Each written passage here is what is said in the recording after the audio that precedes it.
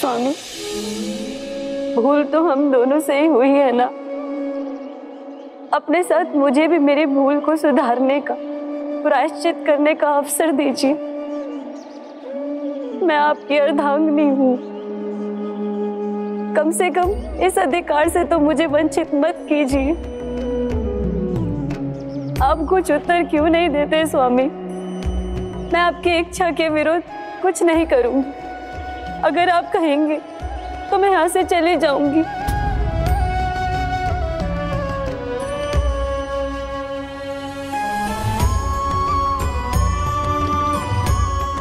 पिताजी, माताजी, मैं स्वामी की इच्छा के विरुद्ध यहाँ नहीं रह सकती। और वो नहीं चाहते कि मैं यहाँ रहूँ। संभव हो तो मुझे क्षमा कर देना।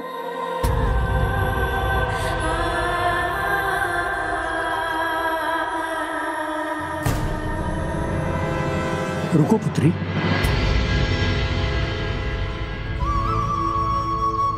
किस अधिकार से रुकूं मैं पिताजी? जब मेरे स्वामी मेरी ओर देखना तो दूर। मेरी बात तक नहीं सुन रहे हैं। वो तुम्हें देख और सुन नहीं पा रहा है पुत्री क्योंकि वो स्वयं यहाँ उपस्थित नहीं। उसकी चेतना कहीं और एकाग्र है। ध्यान से देखो पुत्री उसका तन यहाँ है। आत्मा नहीं। वो तो अपने प्रभु गोविंद के पास है। पुंडलिक को अपने गोविंद के दिव्य दर्शन प्राप्त हो रहे हैं।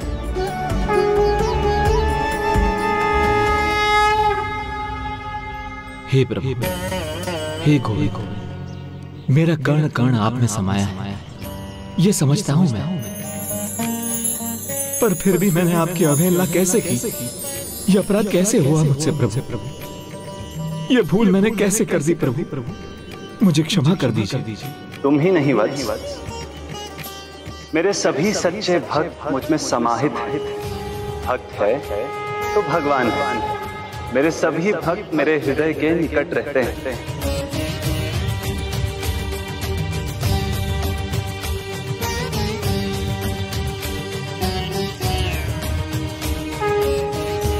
तुम्हारी भूलों के लिए तो मैंने तुम्हें क्षमा कर दिया पुण्य किंतु अटूट विश्वास ही भक्ति की नींव को मज़बूत करता है। एक दूसरे को पूर्णता प्रदान करने वाले दीपक और बाती के समान। समान विश्वास ही भक्त और भगवान के संबंध का आधार तुम्हें अभी पुनः मेरा विश्वास पाना शेष है। तुम्हें अभी पुनः मेरा विश्वास पाना शेष है। तुम्हें अभी पुनः मेरा विश्वास पाना शेष है। भाव की एकाग्रता का उदाहरण कहीं नहीं मिलेगा। अद्भुत है उनकी प्रभु भक्ति।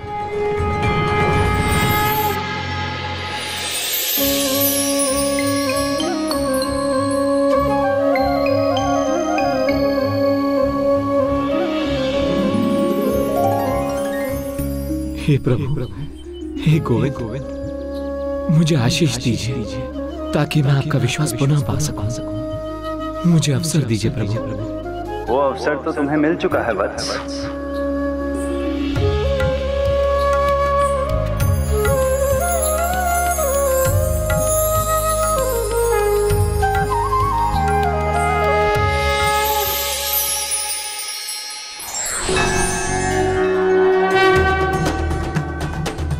क्षमा कर दिया।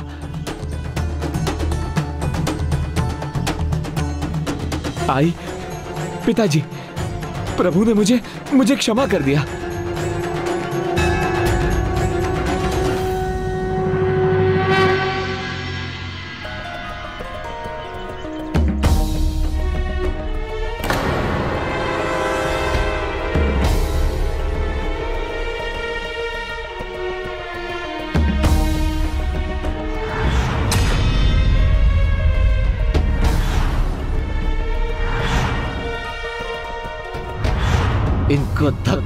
मार के। घर से बाहर निकाल दूँगा।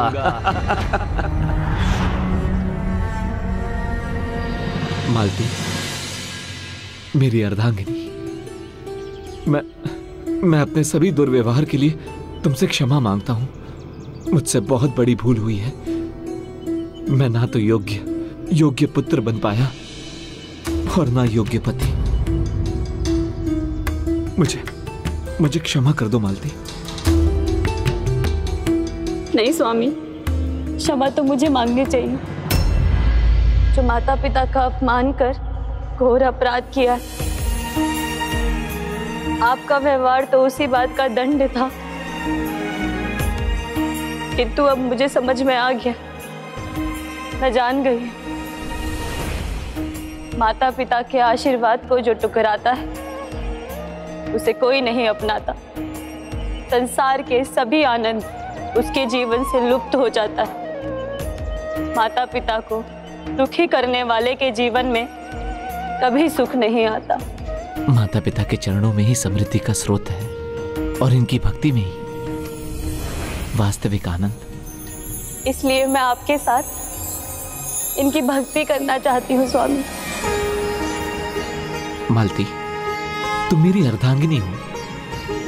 मेरे जीवन के प्रत्येक अनुष्ठान में तुम समान रूप से भागीदार हो। मैं तुम्हें साक्षात प्रभु की पूजा करने से कैसे रोक सकता हूँ?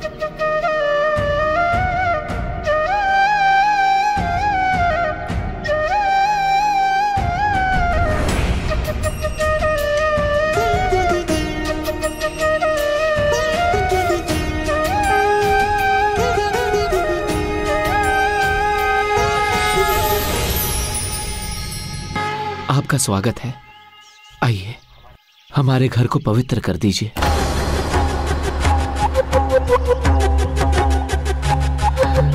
आसन ग्रहण कीजिए।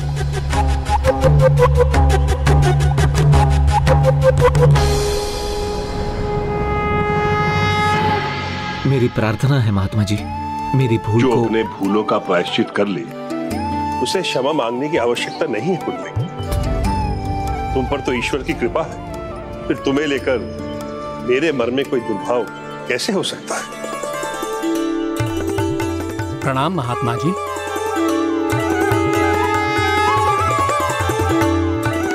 और माता पिता की भक्ति करने वाले भक्तों से तो ईश्वर स्वयं प्रसन्न रहते। ऐसे भक्तों को वो कोई कष्ट नहीं होने देते। सत्य है महात्मा जी। आपने पहले भी कहा था मैं अपने माता पिता के पास लौट कर आऊँगा। उनकी सेवा के लिए तड़पूँगा। मत भूलो। मैंने ये भी कहा भविष्य में तुम अपनी माता पिता की सेवा के लिए जगत में जाने भी जाओ और प्रभु श्री कृष्ण की कृपा से ये शीघ्र ही होगा।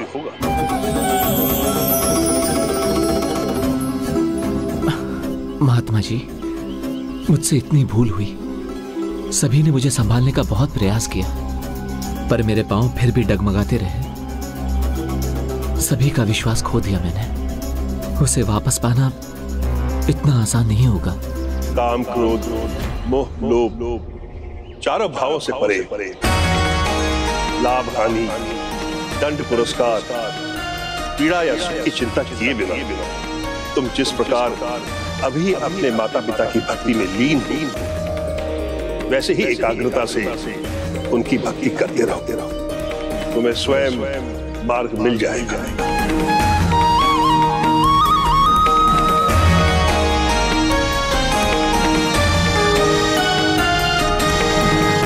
अर्थात माता पिता भ्राता और पत्नी से क्षमा पाने के बाद पुंडलिक को प्रभु गोविंद से भी आशीर्वाद मिल गया? नहीं। भक्त प्रभु की भक्ति से तभी जुड़ सकता है जब स्वयं प्रभु उसकी भक्ति स्वीकार करना चाहे और वो क्षमा के बिना संभव नहीं था, किंतु ईश्वर का आशीर्वाद पाना इतना सरल नहीं है। कई परीक्षाओं का सामना करना पड़ता है। और अभी तो पुंडलिक को अपने माता पिता के प्रति अपनी निष्ठा और भक्ति को प्रमाणित करने के लिए एक बड़ी परीक्षा देनी थी कि भविष्य में कुछ भी हो माता पिता के प्रति उसका सेवा भाव सच्चा था, स्थिर था। उसमें अब कोई बदलाव नहीं आने वाला था।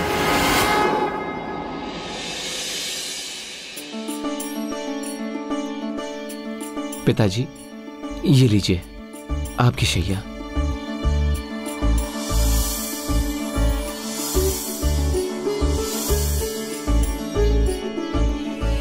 माँ लाइए मैं आपके पाँव दबा दूँ।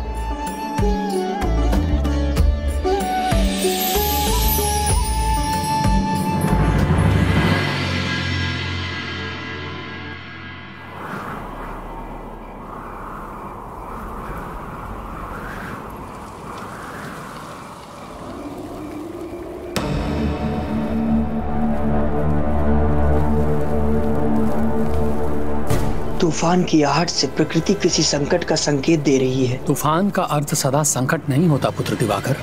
ऐसा ही समय था।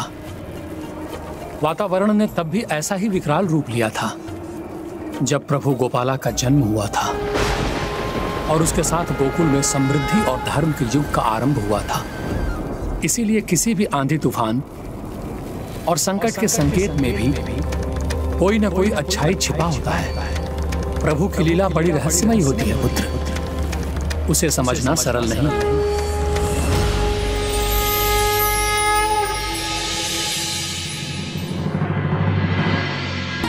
पुत्र पुंडलिक, तुम भी जाकर विश्राम करो। पहले आपको निद्रा आ जाए, उसके बाद जाकर मैं विश्राम करूँगा।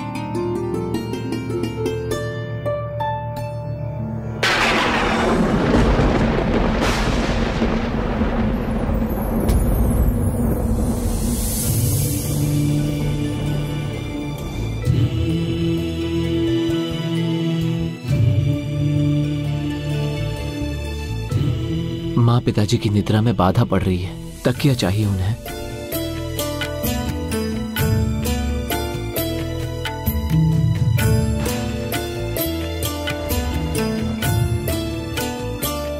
यहाँ तो कुछ भी नहीं है उन्हें देने के लिए।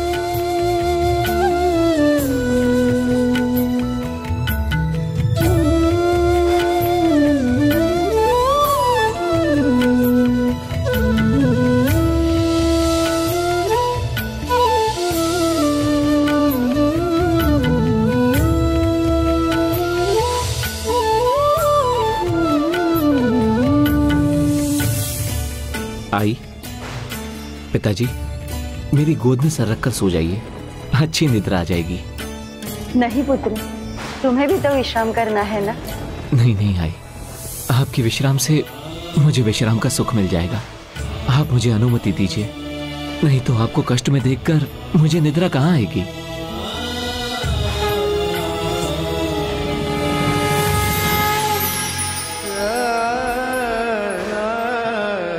आप निश्चिंत होकर सो जाइए। जब मुझे निद्रा आएगी तो मैं आपकी निद्रा भंग किए बिना सो जाऊँगा। आप क्या देख रहे हैं? क्या लगता है आपको? मैं उड़ जाऊँगा? नहीं प्रभु, जब तक इनकी निद्रा पूरी नहीं होती, मैं यहाँ से तनिक भी नहीं हिलूँगा।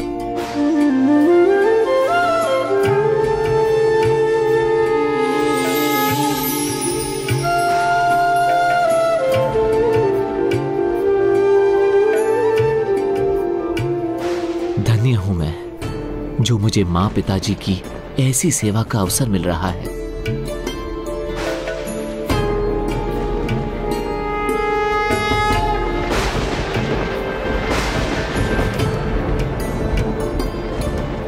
ठंड बढ़ रही है। मैं स्वयं को अंग वस्त्र से और ढक लेता हूँ।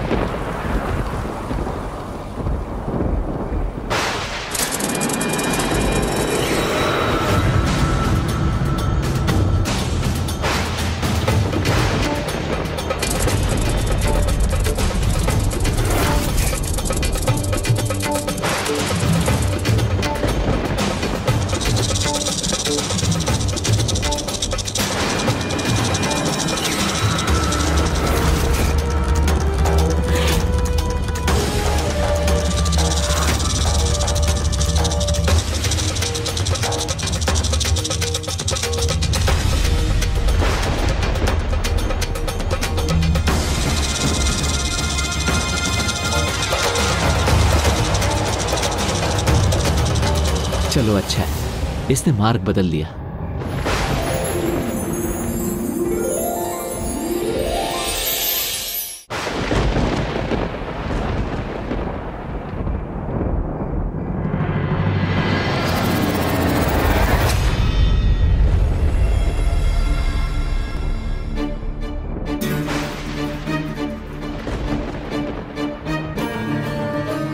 अंग वस्त्र तो दूर चला गया किंतु कोई बात नहीं। वहाँ पिताजी तो सो रहे हैं।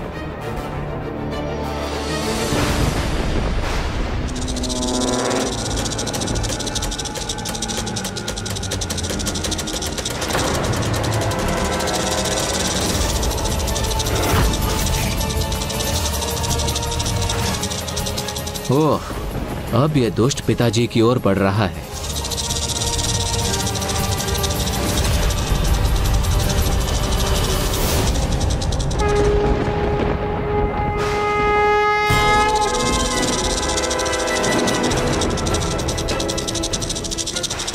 इनकी निद्रा भंग हो रही है। मैं हिल नहीं सकता।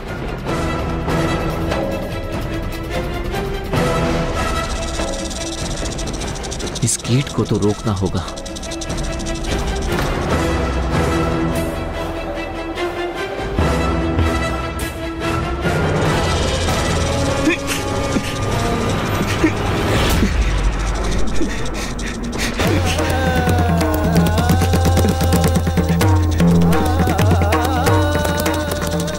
तनिक भी हिला तो माँ पिताजी की निद्रा भंग होगी।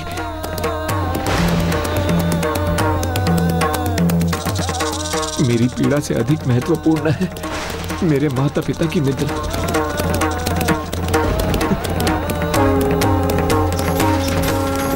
तुम्हारी भूलों के लिए तो मैंने तुम्हें क्षमा कर दिया, पुंडलिक। किंतु अटूट विश्वास ही भक्ति की नींव को मज़बूत करता है।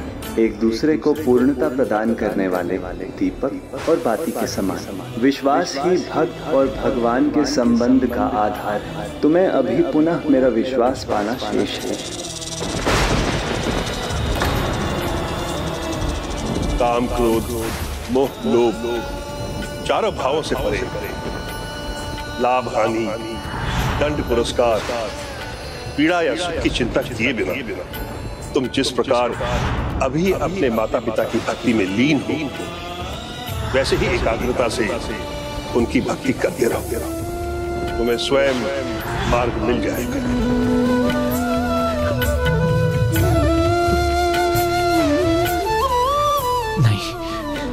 ये पीड़ा सहूँगा मैं। अपना पाँव नहीं हटाऊँगा।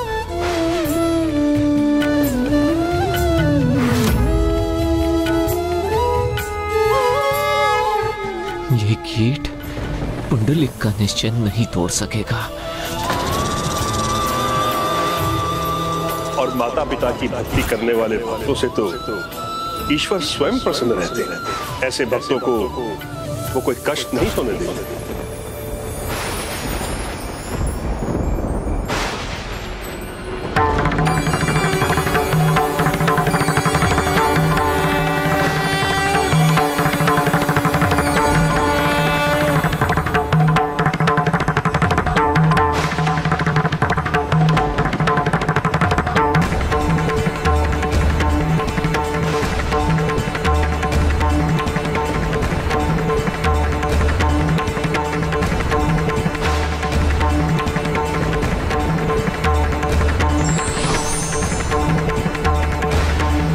पुंडलिक पुंडलिक पुंडलिक।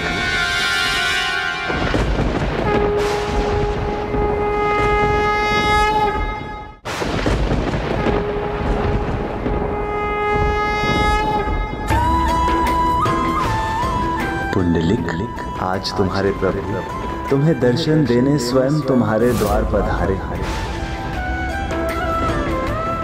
मैं वहाँ नहीं। तुम्हारे द्वार खड़ा हूँ वत्स। मेरे प्रभु गोविंद। हाँ पुंडलिक बाहर आओ। आज भगवान अपने भक्त से भेंट करने आया है। मुझसे भेंट नहीं करोगे?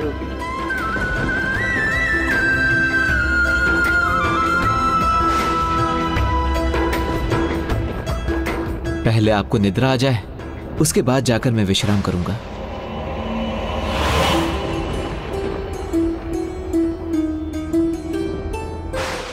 मेरे प्रभु हमारे द्वार अहो भाग्य है हमारा।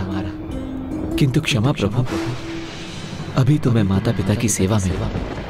चाह कर भी आपके स्वागत के लिए नहीं आ सकता। इन्हें छोड़ बाहर आया तो इनकी निद्रा भंग हो जाएगी। क्या तुम्हें इसकी चिंता है? कि अपने माता पिता को दिया वचन भंग कर दोगे तो मेरी परीक्षा में असफल हो जाओगे। मेरा विश्वास नहीं पा सकोगे।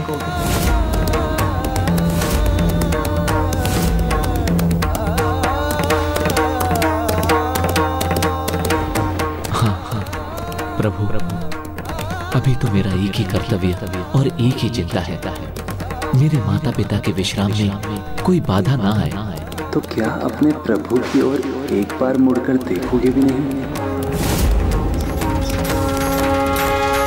प्रभु अपने भक्त को दुविधा में मत डालिए। एक बार मुड़ा तो अपने प्रभु के मुख से अपनी दृष्टि हटा नहीं पाऊँगा। फिर कैसे रोकूँगा अपने आप को? किंतु जब तक माँ पिता की निद्रा पूर्ण ना हो जाए मैं यहाँ से नहीं उठ सकता। तो क्या तब भी नहीं मुड़ोगे जब स्वयं तुम्हारे गोपाला ऐसी तूफानी रात्रि में तुम्हारे घर के बाहर खड़े। आप तो प्रभु हैं। मेरे हृदय की दशा आप जानते हैं। आपके दर्शन के लिए व्याकुल हूँ मैं। किंतु ये भक्त आपके दर्शन सुख पाने के लिए अपने माता पिता के सुख को खंडित नहीं कर सकता। आप भगवान है मेरे। तो इस भक्त की प्रार्थना पर थोड़ी प्रतीक्षा कर लीजिए प्रभु। अच्छा मुझे प्रतीक्षा करवाना चाहते हो तो क्या मुझे एक आसन नहीं दोगे?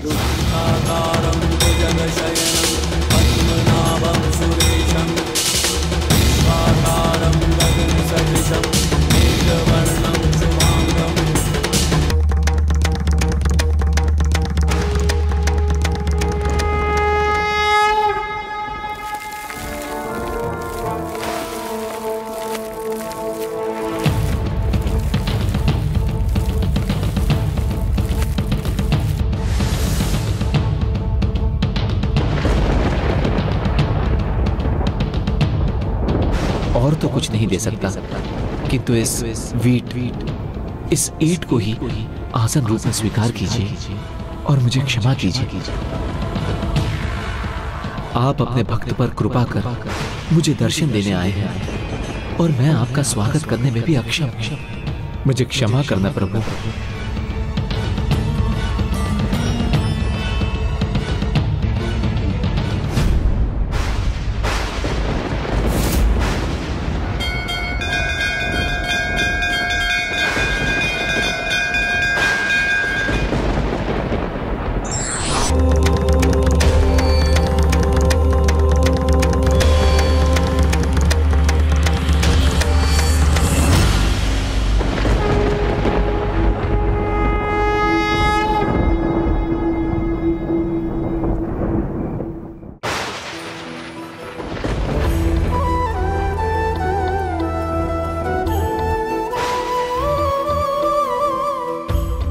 प्रकार, पुंडलिक ने अपने माता पिता की सेवा के प्रति एकाग्र रहकर और उनकी सेवा को अपनी पीड़ा और अपने गोविंद के स्वागत से अधिक महत्व देकर प्रमाणित कर दिया कि माता पिता के प्रति उसकी सेवा, उसकी भक्ति सच्ची श्रद्धा से भरी है। इस प्रकार वो अपनी अंतिम परीक्षा में भी सफल हुआ।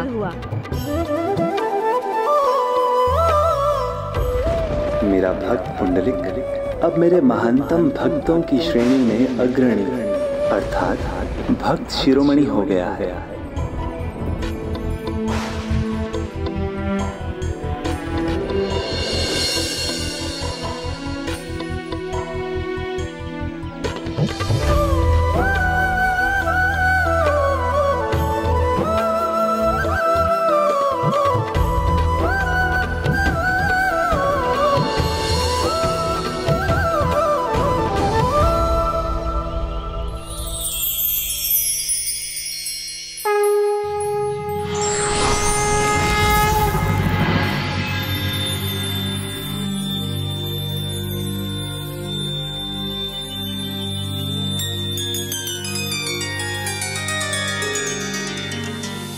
प्रणाम आई प्रणाम पिताजी।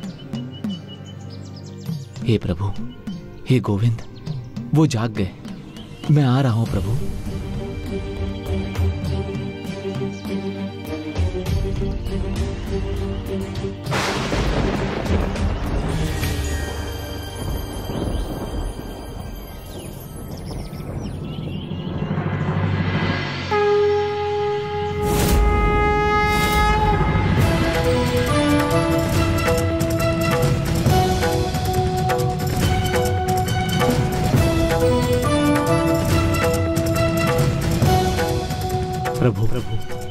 कीट के काटे की पीड़ा कुछ भी नहीं। यदि आपके साक्षात दर्शन ना होते तो आपका ये भक्त ये पीड़ा सहन नहीं कर पाता। किंतु आपने अपने भक्त पर कृपा की। आप सदैव इस रूप में मेरे साथ रहेंगे।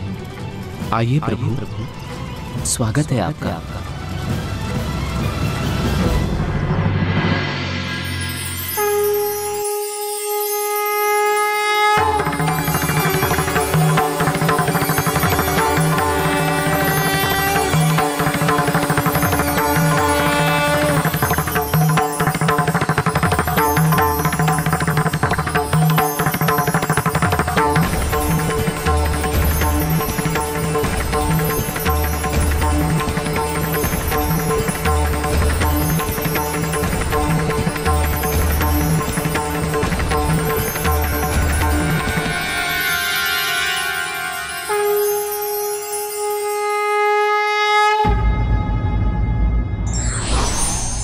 स्वार्थ और मोह को त्याग कर यदि सच्चे हृदय से क्षमा माँगता है तो ईश्वर भी उसे क्षमा दान देना नहीं भूलते।